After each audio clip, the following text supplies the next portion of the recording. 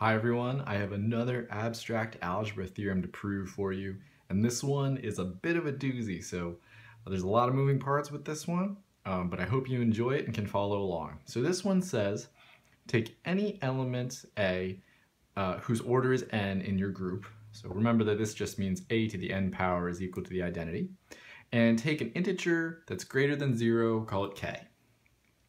This theorem says that the group generated by a to the k is equal to the group generated by a to the greatest common divisor of n and k, and also the order of a to the k is equal to n divided by the GCD of n and k.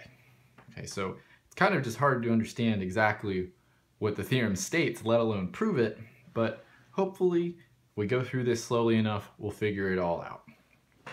So I'm going to start with the first statement. And I'm going to show that these two sets are equal. The group generated by a to the k and the group generated by the a to the GCD of n and k. And the way that I'm going to do this is I'm going to do it through double inclusion. Basically, I'm going to show that this set is contained in the other one and the other one is contained in the first one. If you show that two sets are contained within each other, they must be equal. And just to simplify my notation a little bit, I'm um, the GCD throughout this video of n and k, I'm just going to call that d.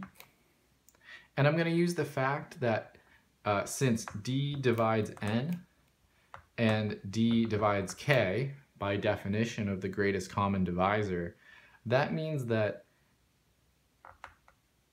k is just some, I don't know, we'll say, maybe I won't use q, um, we'll just say k is some hmm, f multiple of d. Okay, so the first thing I'm going to do is I'm going to show that a to the k is contained in a to the GCD of n and k. So let's just take any arbitrary power of a to the k. Let's say a to the k to the j, right? Because this set a to the k is all the powers of a to the k. So this is just one power of a to the k.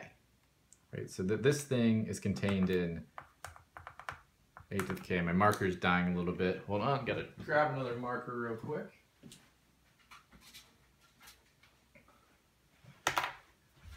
Sorry about that. Okay, so a to the k to the j is contained in a to the k. But I know that a to the k is equal to a to the f times d, right? Because k equals f times d. And if I just rearrange this using rules for exponents, exponents, this is a to the d to the f times j. But what is this thing? Well, this is just some power of a to the d, which means that this element is contained in the set a to the GCD of n and k, right? Or actually, if I'll just be consistent with my notation, this is contained within a to the d. So I showed that a power of a to the k is in the set generated by a to the d, or in other words, a to the k is contained within a to the d. So that's the first way of inclusion. Now I'm going to do it the other way. I'm going to keep my GCD notation. So let's just take any old power of a to the d. I'll say a to the d to the h because that's contained within the set a to the d.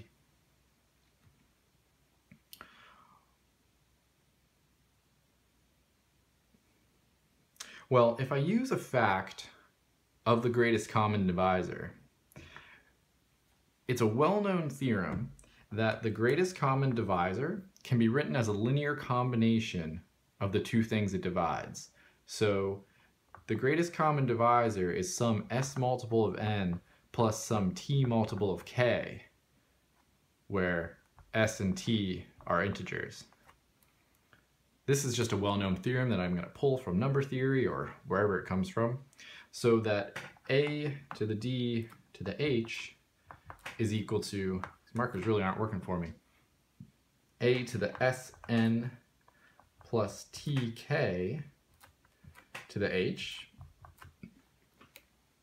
And if I rearrange this using rules for exponents, this is a, yeah, I might have to switch markers again. Let's see, try that other one I was using. This is a to the n, even worse, wow. How about blue? See how this does. This is much better. a to the n to the sh times a to the k to the th. Lots of letters going on here, but all I did was I used rules for exponents. Now a to the n, I know what that is, right? That's e, because remember that a to the n is e, the identity. I know, all you need is another letter, right? a to the n is e, the identity, if the order of a is n. So this is just e to the sh times a to the k times t, uh, uh, to the exponent of th. Well, the identity to any exponent is just the identity. So this is just a to the k to the th. But what is this thing? This is just a power of a to the k. So this is contained within the set a to the k. So what did I do? I took an arbitrary power of d, a to the d that is, and showed it was an a to the k, which means that a to the d, that set is contained within the set generated by a to the k. So I've got inclusion going both ways on this, and I've shown that these two sets are indeed equal. Okay, so that was this first part. Now I gotta prove the second part, which I erased. And I'll write it back up here. Uh, that second part, maybe I'll write it over here, said that the order of a to the k is equal to n divided by d, or n divided by the GCD of n and k. So how am I going to do this? Well, I want to show that n over d is the order of a to the k. So I'm going to start by taking a to the k and raising it to the n over d. Well, if I just use rules for exponents again, this is just a to the n to the k over d, but a to the n is the identity element. So that's e to the k over d, but the identity element to any power is just the identity element, so I get the identity element. So this says that if I take a to the k and raise it to the n over d power, I get the identity element. So you might think that automatically I get what I wanted, which is the order of a to k is n over d. But all that says, all this statement says, is that the order of a to the k is at least less than n over d. That's all I know. Because maybe there was something smaller that I could have taken a to the k to to get the identity element. So I have to do kind of a tricky thing here. I'm going to consider a to the d. And I'm going to take a to the d and raise it to the n over d power. Well, clearly from rules of exponents, this is just a to the n, and I know that a to the n is e, the identity. That means that the order of a to the d is less than or equal to n over d.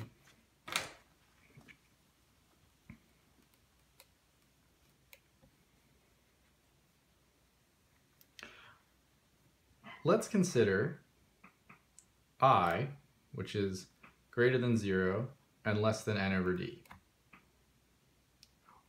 Which means the same thing as d times i is less than n.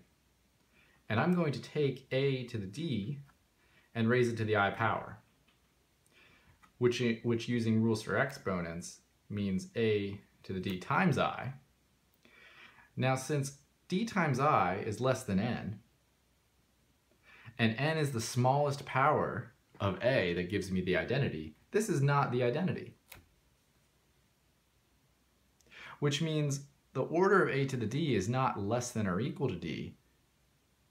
It is in fact equal to n over d.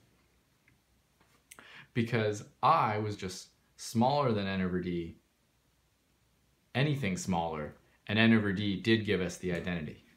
Okay, I'm almost ready for the last line now. Let's consider the order of a to the k. By a previous theorem, the order of a to the k is equal to the order of the set, or rather the group, generated by a to the k. But by the first part of this theorem, I proved that the set a to the k is equal to the set a to the d. So this is equal to the order of the group generated by a to the d. But the order of the group generated by a to the d, that's equal to the order of a to the d. But I just found that the order of a to the d, right here, is n over d, and I called d the greatest common divisor of n and k, which means that a to the k, hopefully you can see it there, I a little low, the order of a to k is n divided by the GCD of n and k, which is what we wanted to prove. Okay, that was very long and lengthy and probably hard to follow and confusing. So please watch it again. If you have any questions, please ask. Um, this is a really important theorem, comes up in a lot of questions and such. Um, and it's a real good one. At least I think so. All right, thanks again for watching. Please like and subscribe if you haven't already, and have an awesome day.